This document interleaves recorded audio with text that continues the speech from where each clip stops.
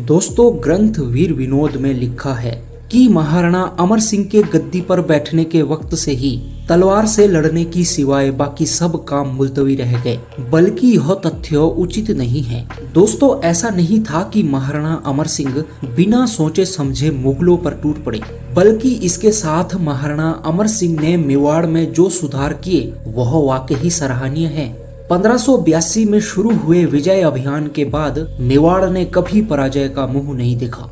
चित्तौड़गढ़ और मांडलगढ़ को छोड़ समस्त मेवाड़ में मेवाड़ी पताका लहरा रही थी। दोस्तों 1588 से पंद्रह के बीच मेवाड़ में कोई बड़ी लड़ाई भी नहीं हुई थी। महाराणा प्रताप ने इस समय का सदुपयोग किया था। मुगल थानों पर आक्रमण, सूरत की छावनी और मालवा पर आक्रमण करके मेवाड़ ने अच्छी संपदा हासिल की थी। इसका नतीजा यह हुआ कि जब महाराणा अमर सिंह का राज्यभिषेक हुआ तो मेवाड़ की सेना में सैकड़ों हाथी, सोलह हज़ार घुड़सवार और चालीस हज़ार पैदल सैनिक थे।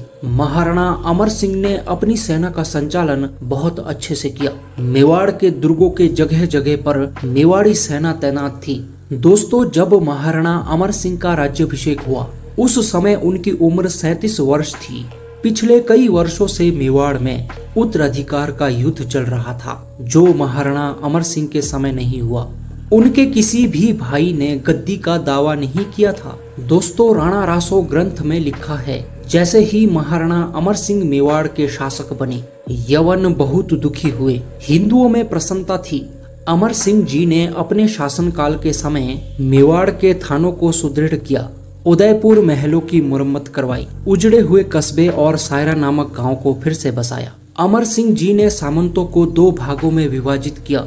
उमराव और सरदार महाराणा अमर सिंह ने यह परंपरा भी तोड़ दी कि सामंत की जागीर हमेशा उसकी ही रहेंगी। महाराणा अमर सिंह ने जागीरों को वंश परंपरा के अनुसार ना देकर योग्यता के आधार पर दी। मेवाड़ के वेंगू, रतनगढ़, बेदला, दिलवाड़ा और बदनौर आदि जो महाराणा ने एक सामंत से लेकर दूसरे सामंत को दिए थे। महाराणा ने भीलों के साथ भी अच्छे संबंध रखे थे। राणा पूंजा अब तक वृद्ध हो चुके थे। भील सेना का नेतृत्व उस समय उनके पुत्र राणा रामा ने किया।